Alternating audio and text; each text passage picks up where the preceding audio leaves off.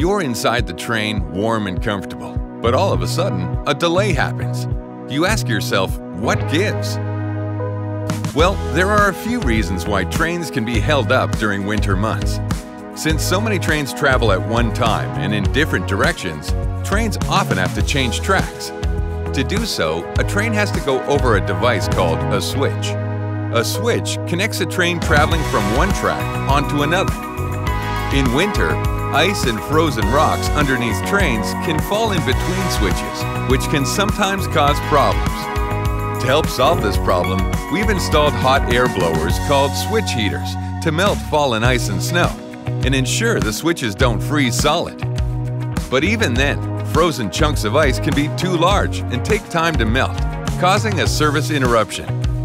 Switch heaters are all tested to make sure they're working properly before the winter weather hits. Sometimes it's the train doors getting jammed with snow and ice, preventing trains from leaving on time. No matter what the weather, our rail maintenance teams are out there across our network, making sure things are working properly so you can have a safe and comfortable ride. At GO, we know that winter weather can sometimes put a freeze on your schedule, but we're constantly improving our service and equipment to make sure you get where you're going. To learn more about your GO train, visit gotransit.com.